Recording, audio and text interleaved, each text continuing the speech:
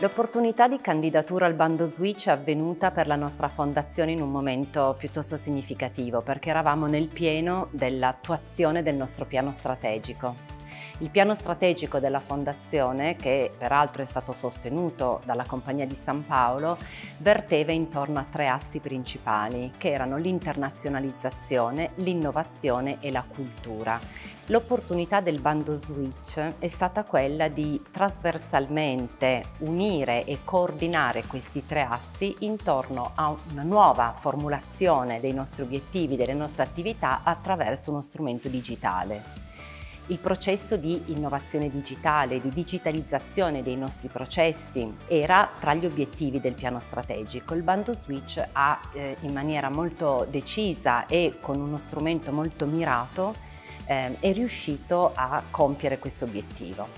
Tra gli obiettivi istituzionali della nostra fondazione c'è eh, la formazione nel campo della conservazione e del restauro dei beni culturali. La formazione nell'ambito del restauro tradizionalmente è una formazione che avviene in presenza con una parte pratica e applicativa molto significativa e invece è risultata un'opportunità assolutamente strategica e anche molto significativa di valorizzare quegli aspetti di componente scientifica e di ricerca che sono insiti nella preparazione e nell'attuazione nell degli interventi di conservazione e restauro e che attraverso uno strumento digitale hanno avuto modo di essere erogati con dei margini di efficacia e di sostenibilità decisamente mh, molto più elevati rispetto agli strumenti di formazione tradizionale.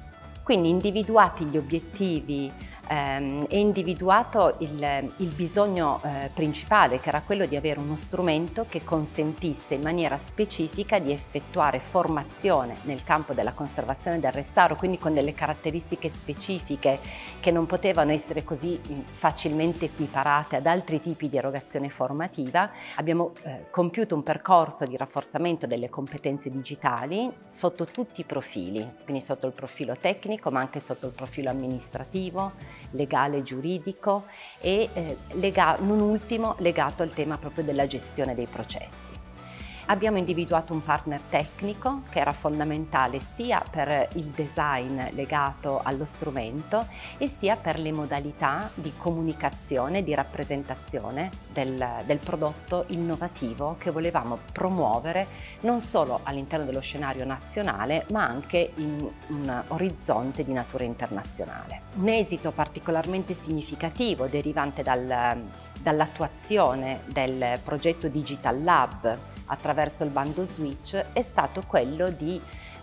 in qualche modo coalizzare eh, tutta la digitalizzazione di processo che la Fondazione stava affrontando in quella fase di sviluppo e di crescita intorno alla definizione di questo strumento e quindi grazie alla realizzazione del progetto Digital Lab abbiamo avuto modo di rivedere alcuni aspetti piuttosto costitutivi. Alcuni temi sono legati per esempio a tutto il processo di semplificazione legato alle modalità di iscrizione, alle modalità di pagamento, alle modalità anche di verifica e controllo rispetto all'erogazione del corso, ma non ultimo un grosso lavoro è stato fatto anche mh,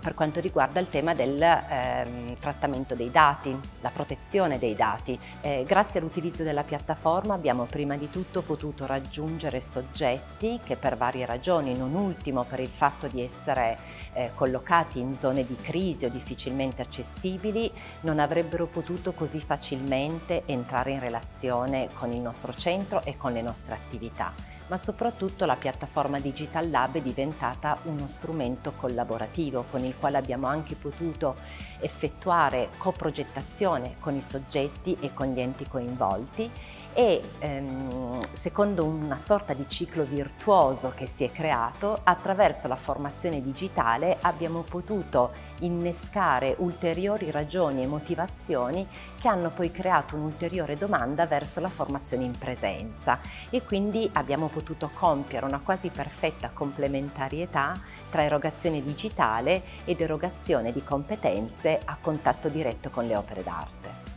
L'impatto di questa ricaduta è stato significativo fin dai primi momenti di utilizzo della piattaforma Digital Lab. Per esempio abbiamo potuto valutare sul 2022 un'incidenza di circa il 60% rispetto a tutte le attività di formazione che abbiamo erogato nel corso dell'anno.